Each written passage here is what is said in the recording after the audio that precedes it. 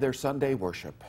Warrior Creek Missionary Baptist Church had service outside now that most of their building is gone. Fire crews told WAAY 31 they still don't know what caused the fire Tuesday night. WAAY 31's Brittany Collins went to the worship service and shows you how worshipers' faith is greater than fire.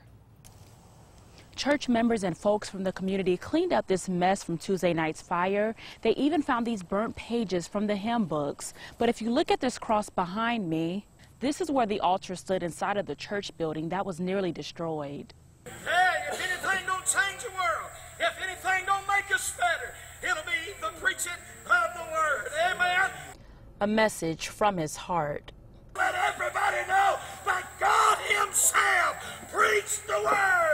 Pastor Daryl Ross went to bed Saturday night not knowing what he'll preach about during Sunday's sermon. When I woke up, um, I could just hear him.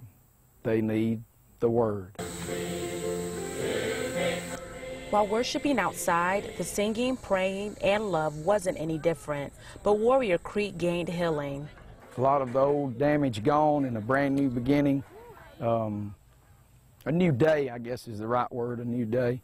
I think everybody got some things fixed today. I really do. 95-year-old Deacon James Carson has worshiped at Warrior Creek for 22 years. Seeing the people from the church love each other during a tragic time warms his heart. It's just, it's a good feeling. It's, it's uplifting, actually. There's, uh, well, I don't know, there's just a joy in uh, fellowship. Pastor Ross said the church members have been a medicine for him. Still, as a shepherd, he's still struggling. Give me one service, let me get where I need to be, let me lead the people of God where I need to, and I'll worry about the next one the next time. And as you can see, the old sanctuary is still standing, so church members will continue to worship outside until the smell of the smoke inside of this building is all clear. Right now, reporting in Coleman County, Brittany Collins, WAAY 31 News.